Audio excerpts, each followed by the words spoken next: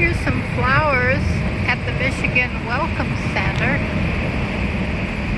Never seen any quite like that. It looks like clover, but taller. Baby likes it. Must smell good in there.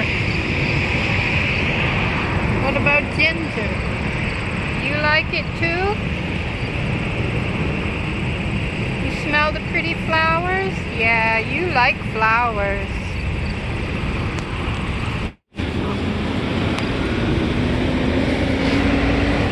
These are pretty zinnias, I think.